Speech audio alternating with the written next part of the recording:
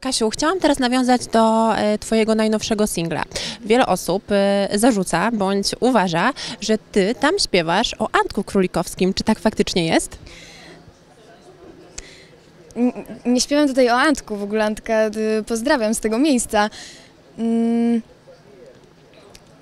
To jest historia niedopowiedzeń, niedopowiedzeń e, między młodymi ludźmi, niedopowiedzeń, e, z jakimi ja, e,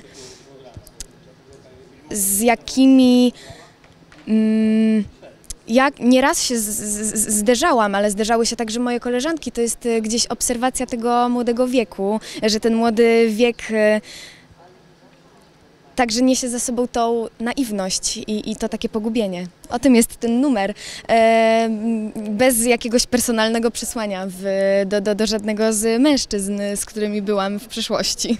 Kasiu, no właśnie, bo to tak e, różnie bywa z tymi naszymi byłymi partnerami. Ja wiem, e, że Ty jesteś osobą niezwykle dojrzałą. I teraz chciałam jeszcze nawiązać e, na chwilę do Antka, który po dwóch latach z Julią Wieniawą rozstał się z nią, ma teraz nową partnerkę i ta partnerka jest wciąż porównywana do Julii. Czy Ty na przykład e, masz swoje preferencje co do którejś z dziewczyn, czy starasz się w to nie mieszać?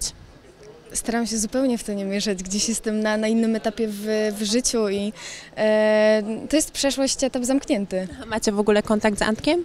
E, oczywiście, oczywiście mamy kontakt, e, składamy sobie życzenia na urodziny i, i, i myślę, że jedno drugiemu kibicuje.